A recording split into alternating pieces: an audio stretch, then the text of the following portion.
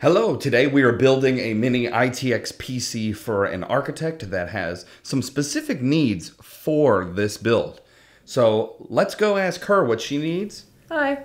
then we'll get into the build. Because as you can see, it turned out pretty well.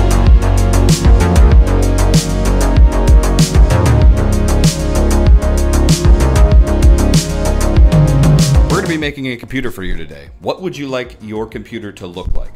I want it to be black, compact, and sleek. What is your budget? Want to spend around $1,500? What do you want your computer to do? I need it to be powerful enough to run architecture programs and multiple programs at once. Anything else? Eh, maybe play some Civ 6. Maybe a little bit of gaming. That sounds good. Let's get to it. Okay, we have our list of things we need to do. Let's get building and into the build montage. These are the parts that we have decided to go with for this build. Now, we went through two different motherboards due to the Intel chipset not being compatible with the processor. Well, we're getting some sort of yellow light. I don't know if that's good or not. We're not getting an output either, so.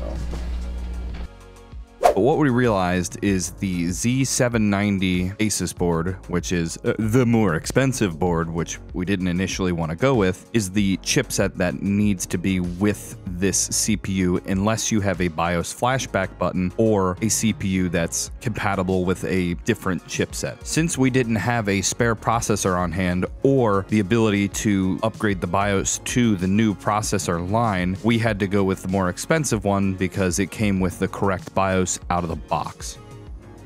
We really need to see if it actually works. Let's see if this actually turns on.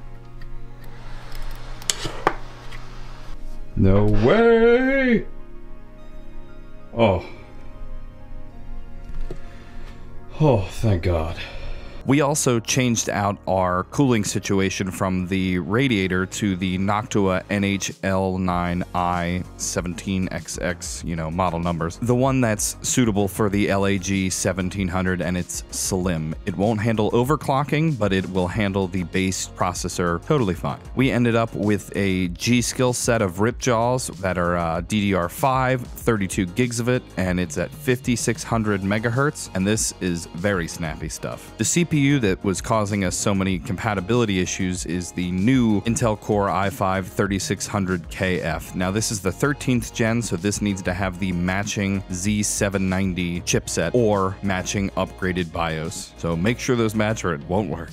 We ended up for a graphics card the MSI Mech Radeon RX 6750 XT with GDDR6, 12 gigs of it. Yeah, quite a bit. So that's nice with how much VRAM is available. And a Samsung 980 M.2 1 terabyte. That is just put in the board and then we don't ever have to think about it again. For power, we went with a Lee & Lee 750 SFX power supply. We went with 140 millimeter Noctua NF A14 PWM fans, and man, are they quiet and move a ton of air. And for the case, to all wrap it up, we went with an SSUPD Meshlicious mini ITX small form factor case with one of the tempered side panels. So after changing our parts around a different few different times and uh, moving from different cooling solutions and different motherboards and you know doing all sorts of mixing and trying to get everything to the right situation, we ended up with a cost of seventeen hundred and twenty-two dollars, which for this type of build and this much power we're getting out of it, it's it's going to do way more than we need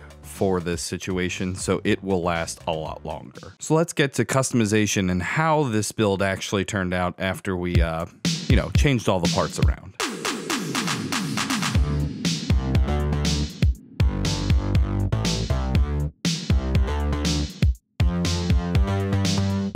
All right, now that we have everything built and put together, let's take a look at how all of the software and all the day-to-day stuff will be run on this computer because it's not a gaming computer. It can run some games pretty well, but it's not a gaming computer. This is going to be used as an architectural computer.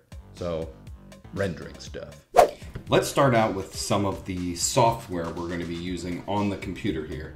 With the build that we put together here, it's actually going to be a little bit overkill for what she's going to be doing.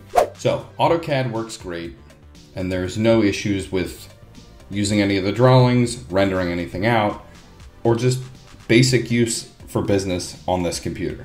The system itself is taking up around 9.2 gigs to run it, but that's also with AutoCAD open, Chrome, Microsoft Edge, Steam Xbox, and GeForce Now. And it's it's just totally fine. As for the GPU, I wanted to get something that wouldn't break the bank, but had a decent amount of RAM on board, just in case that it, it, really does bring down render times when you're able to load an entire project into the card versus having to do chunks at a time because there's not enough memory on the graphics card to kind of chunk through the whole project. And with 12 gigs of GPU memory, this thing sails with the stuff it's going to be using. So, other than architecture, we did have one other thing that she wanted to play, which was Civ 6 and a few other things like Dorfromantik, I know she plays. What else is good on this machine is emulation. So, running old Sims games is also pretty cool. While this is running, I did definitely run the cables pretty close to the graphics card. I actually drilled directly into the graphics card to run some of these cables. No, no,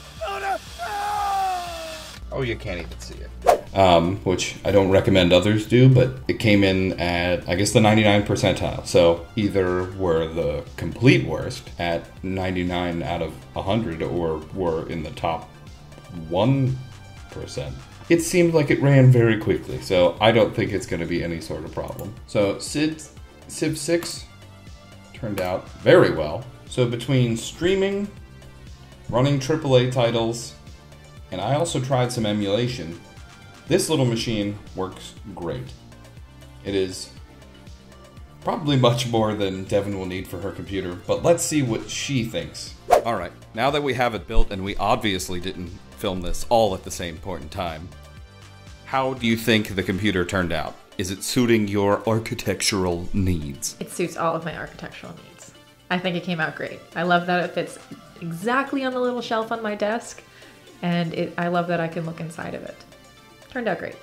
What a glowing review. I think this build turned out great, and I like how everything looks right on the little ledge.